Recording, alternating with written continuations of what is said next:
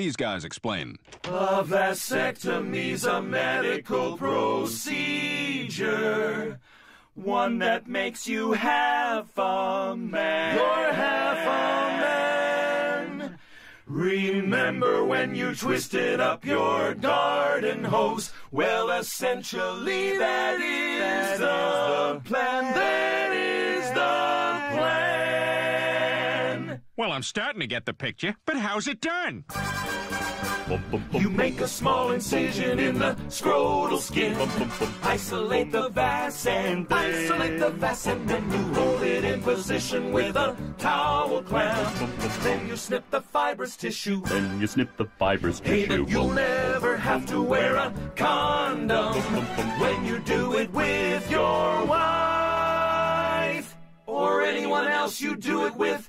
We promise not to tell, like that new hot chick at work.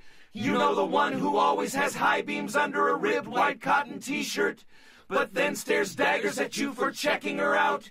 And it's like, why do you wear that if you don't want attention? But you know you shouldn't think that way because of the sexual harassment meeting you all had to go to. Seriously? How lame was that? And you couldn't help but notice that the female lawyer running the seminar had a huge rack.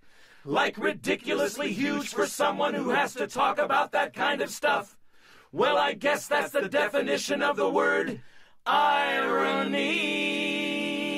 Goodbye. Say goodbye to manhood. Say goodbye to babies. Say goodbye to kids like Meg. Vacuum out your sack.